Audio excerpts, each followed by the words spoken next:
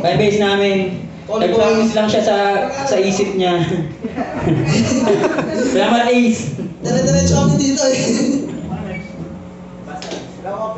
Next song.